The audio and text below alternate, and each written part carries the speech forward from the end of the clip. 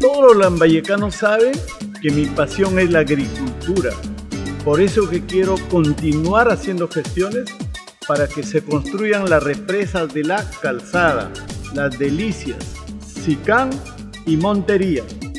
Con esas represas podemos darle agua a todos los pequeños y medianos agricultores que hasta hoy han sido ignorados, porque estoy convencido de que la agricultura es el motor y la fuerza del desarrollo del pueblo lambayecano.